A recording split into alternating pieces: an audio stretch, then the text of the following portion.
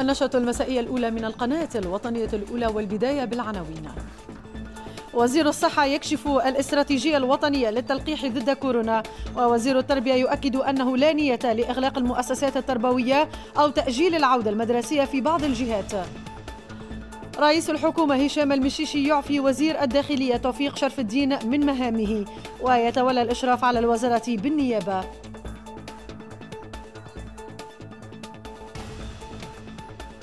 السلطات الجهوية بالقيروان تفتح تحقيقا إثر إلقاء أطنان من النفايات الصناعية مجهولة المصدر في منطقة فلاحية بشبكة أهلا بكم مشاهدينا الكرام في هذا الموعد الإخباري. في ندوة صحفية عقدت برئاسة الحكومة بالقصبة أعلن وزير الصحة فوزي المهدي عن تفاصيل الاستراتيجية الوطنية التي ستعتمدها الحكومة في حملة التلقيح والتي تنبني وفقا لتصريحاته على اختيار التلقيح التي تستجيب للتشريع التونسي وللمعطيات العلمية الواضحة مع ضرورة أن تكون مدرجة في منظومة كوفاكس. وأضاف وزير الصحة أن حملة التلقيح ستكون مجانية وستعتمد مبدأي الإنصاف بين كافة المواطنين والقرار الشخصي للمواطنين عبر التعويل على الانخراط الإيجابي في حملة التلقيح. ووفقا لاستراتيجية التلقيح فإن الأولوية ستكون للمسنين الذين تجاوزت أعمارهم الستين سنة والإطارات الطبية وشبه الطبية العاملين في المصالح الأساسية. أما بالنسبة للأشخاص الأقل من 60 سنة فسيكون التوجه الأول لمن يعانون من أمراض مزمنة. هذا الإطار تم حجز حجز كميات من التلقيح في بالكم بها عندنا 2 مليون جرعة فيروس آه، فاكسان ايران وإحنا في مفاوضات كثيفة مع عديد من المخابر للحصول على كميات إضافية في أفضل الأجال والهدف متاعنا تعرفوه هو تلقيح 50% من المواطنين التوانسة لهذا الغرض تم إحداث لجنة قيادة للحملة الوطنية للتلقيح اللي ترأسها الأستاذ الهاشمي الوزير. وتضم هذه اللجنة عديد الوزارات والمجتمع المدني. كذلك تم إحداث وحدة عملياتية تم تخصيص الفضاءات تاعها آه، تجهيزها بالمعدات وتكليف الإطارات اللي مش تعمل فيها. وبصفة موازية مش يتم تكوين لجان جهوية يشرف عليهم السادة الولاة اللي مش تخدم في المستوى الجهوي. وفي الندوة الصحفية ذاتها شدد وزير التربية فتحي سلاوتي على أن سلامة وصحة التلاميذ والإطار التربوي فوق كل اعتبار ولكنه لا ينفي التفكير في ضرورة استمرارية المرفق التربوي وضرورة مواصلة التعليم والمقاييس التي. التي يتم اعتمادها بالتشاور مع اللجنة العلمية وهي التي تعطي الضوء الأخضر لسير الدروس من عدمه قرار إغلاق المدارس قرار تأجيل العودة المدرسية راهو حتى طرف ما يمكن يكون عنده هو وحده. عندنا لجان على مستوى الجهات ممثلين فيها كل الأطراف بدون استثناء وخاصة وزارة الصحة المديرين الجهويين نتاع الصحة. انطلاقا من تقييم موضوعي للوضع في كل جهة ناخذ القرارات اللازمة. وما هيش قرارات تمشي في صورة اقتراحات إلى وزير التربية. وعلى مستوى وزارة التربية ناخذ القرارات ولا نصادقوا على القرارات اللي تجينا من الجهات. نحب نأكد إذا أنه ما يحقش اليوم حتى حد في تونس أنه ياخذ قرار إحادي الجانب من جانب واحد باش يسكر مؤسسة تربوية ولا باش يأجل عودة مدرسية. وكانت وزارة الصحة أشارت في بلاغ لها مساء أمس أنه تم بتاريخ الثالث من جانفي الحالي وإلى غاية الساعة الحادية عشر مساء تم تسجيل 62 وفاة جراء فيروس كوفيد-19 ليرتفع بذلك العدد الجملي للوفيات إلى 4862 وفاة. كما تم في التاريخ نفسه تسجيل 1252 إصابة جديدة بفيروس كورونا إثر إجراء 4657 تحليلا مخبريا. في الأثناء كثفت اللجان الجهوية لمجابهة الكوارث وتنظيم النجدة من اجتماعاتها لمتابعة الوضع الوبائي واتخاذ الإجراءات اللازمة لمنع مزيد تفشي الفيروس. تفاعلا مع عودة النسق المرتفع لإعادة الإصابات بفيروس كورونا تعقد اللجان الجهوية لمجابهة الكوارث وتنظيم النجدة اجتماعات دورية ويومية لمتابعة الوضع الوبائي وتقييم الأداء ولكن أيضا لاتخاذ التدابير اللازمة لتطويق الفيروس. في هذا السياق ارتأت اللجنة الجهوية لمجابهة الكوارث وتنظيم النجدة بسفاقس رفع مقترح إلى سلطتي الإشراف يقضي بتأجيل العودة المدرسية والتكوين المهني لمدة أسبوع فضلا عن اتخاذ جملة من الإجراءات الأخرى من بينها تشديد الرقابة والصرامة في تطبيق البروتوكول الصحي واحترام توقيت حظر الجولان ومنع التظاهرات الخاصة والعامة ومنع التنقل بين الولايات وانتصاب الأسواق الأسبوعية لمدة 15 يوما والمضي قدما في حملات التحسيس والتوعية ضمن برنامج عزيمة. أما في ولاية سيدي بوزيد فقد تقرر وقف الدروس بدءا من اليوم بكامل إعداديات ومعاهد معتمديتي الرقاب وبير لحفي لمدة أسبوع لكسر حلقات عدوى الفيروس حسب بيان صادر عن نقابتي التعليم الثانوي والتربية البدنية. الوضع الوبائي في ولاية المهدية اقتضى تعليق الأسواق الأسبوعية في مناطق الرجيش والمهدية والحكيمة والسعد وقصور الساف لمدة 15 يوما بقرار من اللجنة الجهوية لمجابهة الكوارث وتنظيم النجدة بالولاية. مع تكثيف حملات مراقبة احترام قواعد البروتوكول الصحي بالفضاءات التجارية والمحلات المفتوحة للعموم والأسواق اليومية ووسائل النقل والمؤسسات العمومية والتربوية. وإثر توسع دائرة العدوى بولاية المنستير تم الإذن بتفعيل اللجان المحلية المكلفة بمتابعة الوضع الوبائي المحلي ودعوتها للانعقاد الدوري واليومي. كما أوصت اللجنة الجهوية لتفادي الكوارث ومجابهتها وتنظيم النجدة بوضع رقم أخضر على ذمة المواطنين لتلقي الإشعارات حول المحلات المفتوحة للعموم والتي تخرق التدابير الصحية أو المصابين بفيروس كورونا وغير الملتزمين بالحجر الصحي الذاتي. هذا بالإضافة إلى الدعوة إلى تنظيم حملات تحسيسية وتوعوية حول ضرورة وضع الكمامات واحترام البروتوكولات الصحية. وفي ولاية أريانا انطلقت حملات رقابة أمنية وصحية مشددة بكافة الفضاءات العمومية بالجهة بعد رصد أعلى مستوى للإصابة بفيروس كورونا بعدد من المناطق بالتوازي مع انطلاق حملات التقصي للفيروس. خصصت الإدارة الجهوية للصحة بقفصة حملة مجانية لتقصي فيروس كورونا لفائدة المواطنين. حملة هدفها تقييم الوضع الوبائي بالجهة وتوعية المواطنين بضرورة الالتزام بإجراءات الوقاية. تقييم الوضع الوبائي بمدينة قفصة ومدى انتشار فيروس كورونا خلال هذه الفترة. إلى جانب كسر حلقات العدوى إن وجدت أهداف حددتها الإدارة الجهوية للصحة بقفصة من خلال حملة جهوية للتقصي السريع لفيروس كورونا ستشمل مختلف المعتمديات. كل يوم في معتمدية إن شاء الله. ما عندنا فرق هذيك مكونة ومدربه ومجهزة بالتحاليل السريعه هذه. إن شاء الله كل يوم فما فما تحاليل مجانيه هي اللي عندهم أعراض واللي ما عندهمش أعراض زادة. واحد بالطبيعه حب يثبت من روحه و... و on sait jamais واحد على ما يأتي. الحمد لله يا ربي طلعت négatif وإن شاء الله نحافظوا على أرواحنا ونلتزموا بال باللبسان ال bavette باستعمال الجيل. جيت باش نحلل باش نشوف روحي مريضة ولا لا بقدرة ربي إن شاء الله ربي يقدر الخير وهذاك هو. البعض منهم لا يحملون أعراض الفيروس الا ان حالة التوتر والإرباك التي حتمها انتشار فيروس كورونا في بعض المدن أو داخل بعض الأوساط العائلية دفعهم إلى القيام بالتحاليل السريعة في إطار هذه الحملة. اللي جيت لهنا على خاطر بالأساس نحب نتأكد من سلامتي. بما اني كنت في déplacement المدة اللي فاتت في صفاقس أنا عندي شكون في العائله positif. حبيت نقطع الشك ونشوف روحي est-ce que أنا positif négatif نخدم نحمي اللي معايا ونحمي ولادي. عملنا test واحد كان واحد من la famille مريضة وتخدم في الصحة. عملوا test وقالوا laboratoire في قفصة ما ثمش. باش نعرفوا مدى نسبة وجود الفيروس الكورونا منتشر معناها في ال population générale معناها. باش نشوفوا إحنا بالضبط الوضع الوبائي وين وبهذه المناسبة في الحملة التقصي هذه نوجهوا دعوة للمواطنين.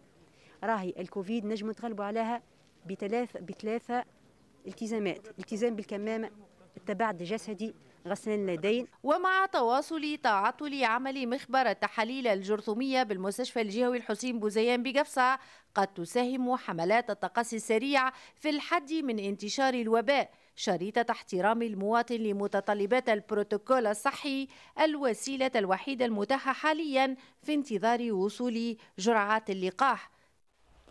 قرر رئيس الحكومة هشام المشيشي وفق بلاغ صادر عن رئاسة الحكومة قرر إعفاء وزير الداخلية توفيق شرف الدين من مهامه على أن يتولى رئيس الحكومة الإشراف على وزارة الداخلية بالنيابة في انتظار تعيين وزير داخلية جديدة. يشار إلى أنه لم يتم التطرق في البلاغ إلى الأسباب الكامنة وراء هذا القرار. أطنان من النفايات الصناعية مجهولة المصدر تم إلقاؤها بطريقة سرية وعشوائية في منطقة فلاحية برويصات بمعتمدية شبيكة من ولاية القيروان. حادثة شكلت مصدر حيرة وقلق للمتساكنين سيما وأنهم تخوفوا من إمكانية ارتباطها بملف النفايات المستوردة. الأمر الذي نفته السلطات الجهوية مؤكدة فتحها تحقيقا لاتخاذ الإجراءات القانونية اللازمة. أكداس من النفايات الصناعية تصل حمولتها إلى ما يناهز عن عشرين طن تم إلقاؤها بشكل عشوائي في منطقة الرويسات التابعة لمعتمدية شبيكة. وقد أثارت الحادثة سيلا من التساؤلات حول مصدر الفضلات ومدى ارتباطها بملف النفايات المستوردة اضطر المجلس مجلس الفرع الجهوي للمحامين بقيروان إلى إلى إصدار بيان. بيان كان شديد اللهجة لما يتماشى وخطورة الوضع. هذه النفايات مجهولة المصدر سواء كانت محلية أو أجنبية فليتحمل مسؤوليتها كل من اقترف هذا الجرم في حق ولاية القيروان وفي حق البيئة وفي حق صحة المواطن. ونحن كفرع للمحامين بالقيروان سنتابع هذه القضية. عندما وصلتنا المعلومة لوجود نفايات مجهولة المصدر محاذية لمعمل الإسمنت في الرويسات في القروان نقلنا إلى عين المكان وعيناها. وفي مرحلة ثانية هزينا خبير في معالجة النفايات رجح أن تكون لا تتجاوز الكمية 20 طن وأنها آه، خارجة تونسية المصدر خارجة من وحدة لمعالجة وتثمين الورق والكرتون. هيك علاش؟ إحنا طلبنا بأنه بعد ما يكون فما تحقيق في أقرب الأجال يقع رفع تلك الفضلات من البلايص هذوكم. والي القيروان وخلال جلسة خصصت للبحث في الموضوع أكد أن النفايات التي تم العثور عليها في منطقة الوسات ليس لها ارتباط بقضية النفايات المستوردة. كما بين أن التحقيقات جارية لتحديد هوية المخالفين ومن ثم اتخاذ الإجراءات القانونية ضدهم. نحب نأكدوا أولا ما نسمحوش باش تكون القروان هي مصب الفضلات هذه أولا. ثانيا نحب نأكد على حاجة هي ما عندها حتى علاقة بالفضلات اللي جاية من إيطاليا. وهذه تعليمات خاصة لمختلف الصورات المحلية والجوية اتخاذ الإجراءات القانونية اللازمة وباش نقوموا والنيابة العمومية هي والملف عند النيابة العمومية وباش يتحمل مسؤوليته كل من يفرز عليه البحث باش نأخذ إجراءات قانونية آه، صارمة في, في, في, في الإطار هذه بالطبيعة وقد تم إلقاء هذه النفايات في منطقة فلاحية وهو ما يمثل خطرا على سلامة المحيط. آمال كبيرة تعلق على مشروع تهيئة وادي الطين بغنوش من ولاية جابس الذي انطلقت أشغاله ومن المقرر استكمالها بعد 13 شهرا مشروع من شأنه أن يساهم في حل العديد من الإشكاليات والصعوبات التي يواجهها أهالي غنوش لوجستية كانت أو بيئية أو غيرها. انطلقت أشغال تهيئة واد التين بغنوش بتكلفة تبلغ 5 مليون دينار. هذا المشروع الذي طالب به الأهالي منذ سنوات يتضمن مكونات عديدة وبلدية غنوش شددت على استكمال أشغال هذا المشروع في أجلها. مشروع واد التين بغنوش يتمثل في تنظيف الواد من الأوساخ أولا. ثانيا آه، تبليط الواد ثالثا إنجاز زوز قناطر واحدة في الضفة الجنوبية واحدة في الضفة الشمالية. هذا المشروع في الأجل المحددة اللي هي 13 آه، شهر. تهيئة وادي التين ستساعد على معالجة العديد من الإشكاليات التي كانت تؤرق أبناء مدينة غنوش وذلك في انتظار إنجاز مشروع تعبيد طريق غرب السكة. مجموعة من المشاكل إن شاء الله باش يحلها الإنجاز نتاع تهيئة وادي التين هذايا بالنسبة لنا كمجلس بلدي وكأهالي غنوش كان حاجة نطمحوا لها الناس الكل وننتظروا فيها مدة سنوات خاصة مع إنجاز الزوز قناطر إن شاء الله اللي باش يحلوا جزء كبير من المشاكل البنية التحتية في غنوش وال passage خاصة مشاكل السكة الحديدية مشاكل الصحية والبيئية اللي يمثلها الواد الانجراف تصريف مياه الأمطار ومياه النز إن شاء الله المشروع هذا ينجز في الوقت المطلوب حسب المواصفات المطلوبة. آه، أهالي غنوش ارتاحوا شوي خاصة توا مع عودة المدرسية تو كانوا كانوا تلامذة يتعدوا فوق السكة تو إنجاز كبير باش يولي قنطرة تلامذة الكل يتعدوا فوق قنطرة و وتورتوا. مازالت مشكلة شوية كان مع السكة لازمها ناقصة كان تعبيد الطريق غير بالسكة. خطر كبير ياسر على التلامذة راهو كيف تصب مطر راه يمشوا كلهم فوق السكة. وتبدأ ترى متعدية وراهم خايفين على صغارنا وعلى سلامتهم. تهيئة واد التين ستمكن من تحسين الوضع البيئي بغنوش. وضع يتطلب حسب أبناء هذه المعتمدية المزيد من العناية والاهتمام. تمكنت فرقة الحرس الديواني بقليبيا من حجز كميات هامة من البقول الجافة المهربة أجنبية المصدر إثر مداهمة أحد المخازن ويتمثل المحجوز في 136 طنا من مادة الجلجلان. وثلاثة أطنان من مادة الدرع وطنين اثنين من مادة الملوخية. ولا يحمل صاحب هذه البضاعة أي وثيقة تثبت شرعية مسكها أو ما يفيد خلاص الأداءات والمعاليم الديوانية في شأنها. وقد بلغت القيمة الجملية للمحجوز ما يناهز 1.3 مليون دينار. وتم تحرير محضر حجز في الغرض. وسيتم إجراء الاختبارات اللازمة للتأكد من سلامة البضائع المحجوزة من عدمها. نفذ تلاميذ المعهد النموذجي بالقصرين وقفة احتجاجية أمام المعهد معتبرين أن قطع الأشجار التي كانت تزين المعهد منذ عشرات السنين جريمة في حق البيئة.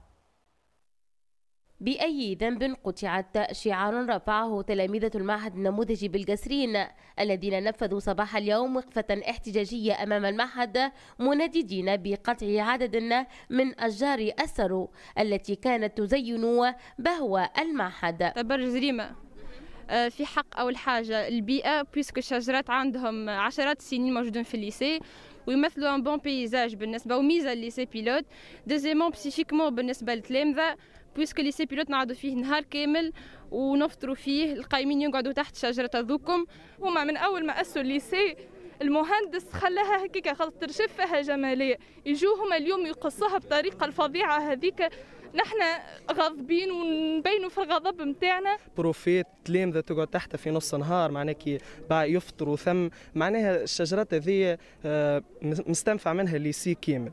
وموفرة جمالية باهية على الآخر. جوا قصوهم هما déjà الشجرات أقدم من ال lycée أشجار ارتفعت قامتها وتفرعت أغصانها وأضحت تشكل خطرا على المعهد وحجبت الشمس على الأقسام والإدارة كما تسببت في تدهور الوضع البيئي بالمعهد. ما تطلب بحسب مدير المعهد النموذجية طلب الترخيص من إدارة الغابات للتقليص من ارتفاعها وقطع بعضها.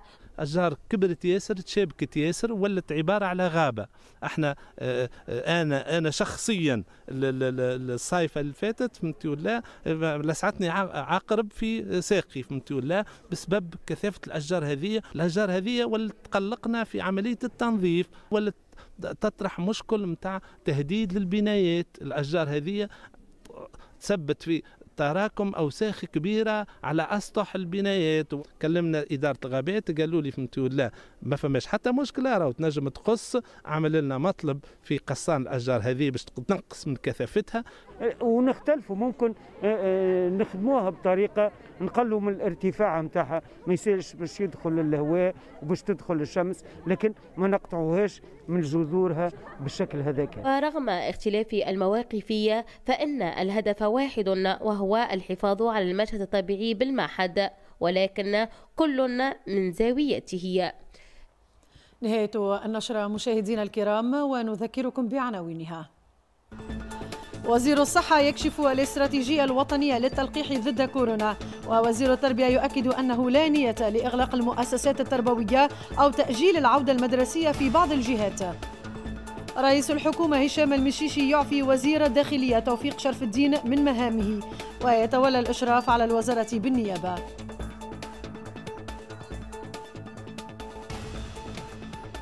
السلطات الجهوية بالقيروان تفتح تحقيقا إثر إلقاء أطنان من النفايات الصناعية مجهولة المصدر في منطقة فلاحية بشبكة. ونشير إلى أنه بإمكانكم متابعة هذه النشرة وغيرها من الأخبار على بوابة التلفزة التونسية. شكرا على طيب المتابعة وإلى اللقاء.